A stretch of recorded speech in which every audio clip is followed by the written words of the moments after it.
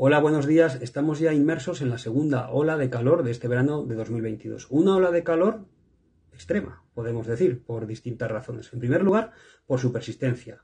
Podemos fijar su comienzo el pasado sábado, día 9 de julio, y si nos fijamos en estos mapas de variación de temperatura, vemos que durante toda esta semana van a predominar los ascensos.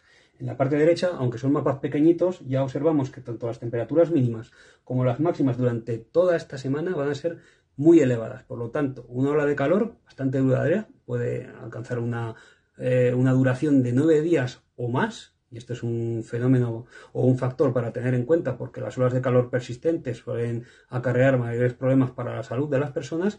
También una ola de calor bastante o muy extensa, porque si nos fijamos en los mapas de temperatura, la mayor parte de, la península tendrá noches tropicales, noches en las que no se baja de 20 grados, e incluso, e incluso noches tórridas en el centro, en el oeste y en el sur peninsular, noches en las que no se bajará incluso de 25 grados. Esto es algo eh, muy destacado porque implica que a la hora a la que nos vamos a dormir podemos estar todavía por encima de 33 o 35 grados, mucho calor nocturno y mucho calor diurno en la mayor parte del territorio. Se superarán los 40 grados no solo en las zonas habituales, no solo en el Valle del Guadalquivir o del Guadiana, donde se podrá llegar incluso a 44 grados, también se superarán los 40, los 40 grados en la zona centro, en ciudades como Toledo, probablemente también en Madrid, en el Valle del Ebro, en ciudades como Logroño o Zaragoza, e incluso en lugares menos eh, habituados a, los 40 grados, como puede ser la meseta norte.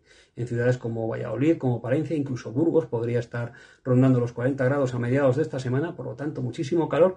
También en el interior de Galicia podrían superarse los 40 o 42 grados. Así que ya decimos que será una ola de calor, por lo tanto, duradera, una ola de calor extensa, porque va a afectar a buena parte del territorio, y con las temperaturas que hemos comentado, una ola de calor también intensa en verano es normal que haga calor, pero el calor que va a hacer estos próximos días no es normal.